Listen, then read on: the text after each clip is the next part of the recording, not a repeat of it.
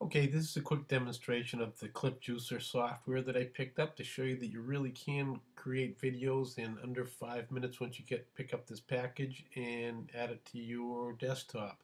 Alright, so I've already done that. I've, I've opened up the software. Here it is. Alright, now you have to have your images prepared. You have to have a destination folder prepared. So I got a bunch of junk over here. Sorry for all of that. This is the destination folder and this is the um, the um, source folder. So in there I have 21 images of different places in Maine and stuff like that there. So what I'm going to do is I'm going to, uh, across the top here, I'm going to bring this up to 21. All right, that little wheel is a little fussy sometimes, so maybe it's, it's easy just to type it in here. All right, um, I'm just creating one video now. Okay, um, I'm going to do them three seconds in between, and the uh, uh, the duration per image, and the transition time is 1.5 seconds. Okay, so now the source folder, I'm going to grab the images of the one I showed you here, the Maine images. Okay, so I'm going to browse. All right, and let's see from my desktop. We'll look down here. We're going to bring it down. I'm working on a Mac. Okay, so there it is. I'm going to highlight that. I'm going to choose it all right and that's in there. I'm going to go browse for the next one. Okay I'm going to bring that to, I'm going to put the images over to the destination folder so I'm going to choose that. All right now these here um, you know you can turn them on if you want to have a, a, intro image, a final image, and a music image. I'm not going to do that right now, um, but that just that's self-explanatory.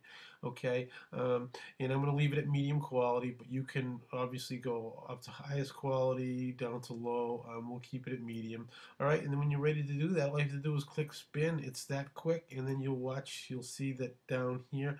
Eventually, will start. Um, uh, advancing or, or doing its job you'll see a little green uh, filler area in there and that takes a little bit of time. So I just wanted to let you know that if you decide you uh, like this here and you want to do something, you know, uh, below this video, there's going to be a link where you can purchase it from, from us at Mining Gold Products.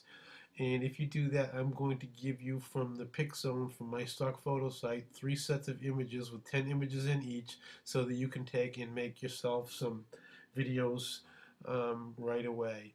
So um, I'm going to let this, I'm going to pause this for a second, come back when, it, when it's loaded up so you can see how it all right, and you can see it's starting to load up here, um, and that's what happens once you hit that spin button down below.